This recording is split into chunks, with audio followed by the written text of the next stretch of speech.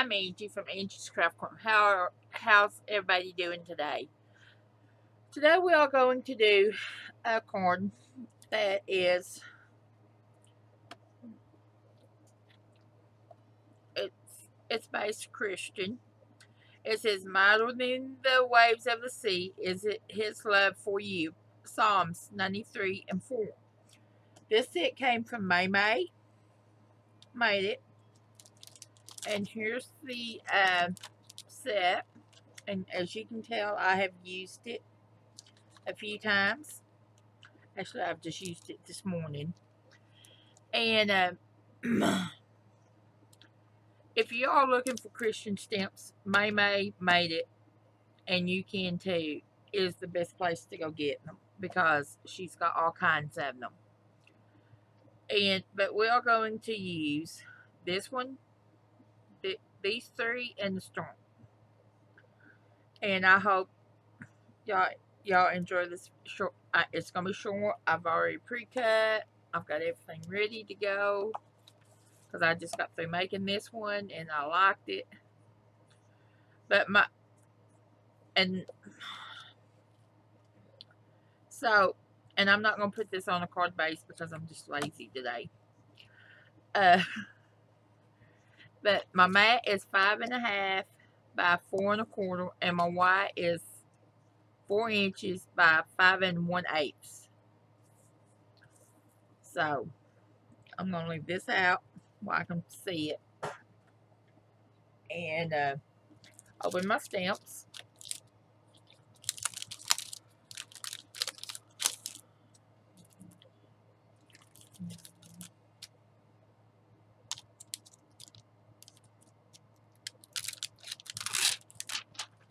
And I'm going to do the bigger pieces before I do the storm.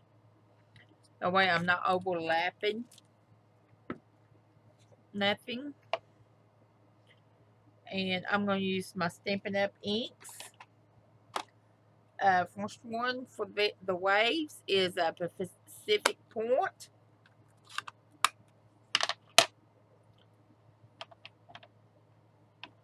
And you can find all of this on the blog at angiecraftcorner.com. And I'm going to grab a baby wipe and clean my stamp.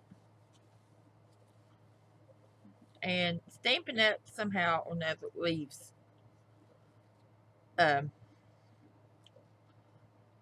stains on my stamps. But oh well.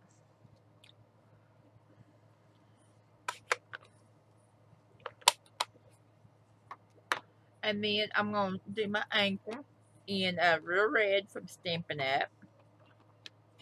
And I'm going to change blocks. This block is just not what I need.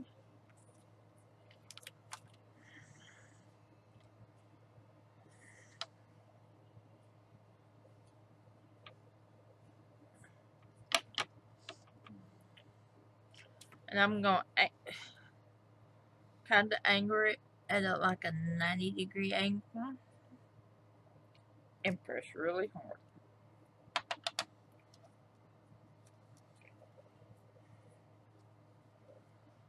Mm, I'm not sure why it's doing that, but okay. And then I'm taking my my saying. It says, Mightier, mightier than the waves of the sea, his love for you. And that is so true.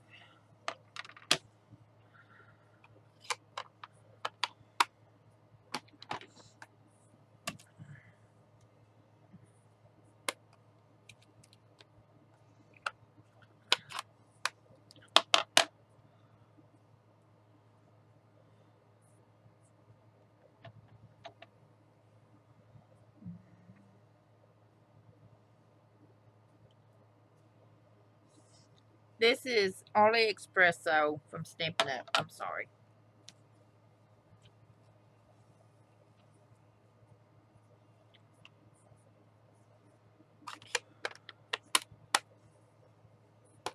And then we are going to use Daffodil Delight from Stampin' Up.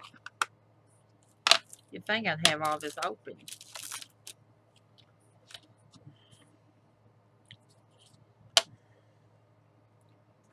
And I'm going to just uh, random, random stamp the star on this. Make it my own background. I mean, I'm going to do it off the page, on the page. Just like so.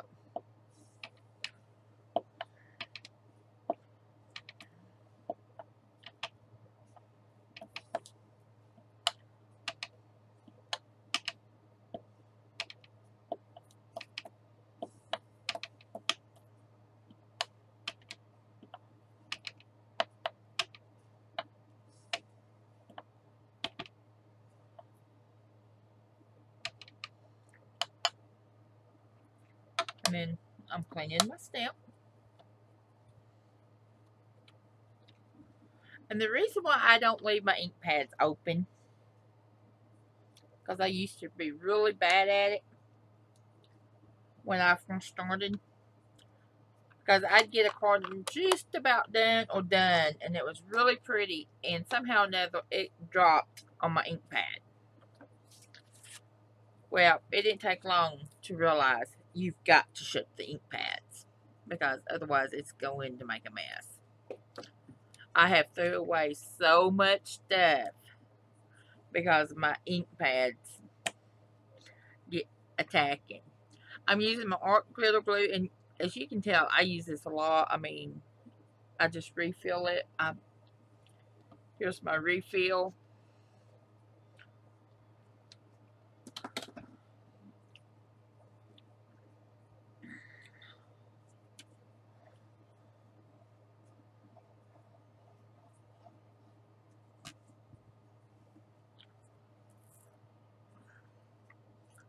Then I'm just going to try my best to center this just like so.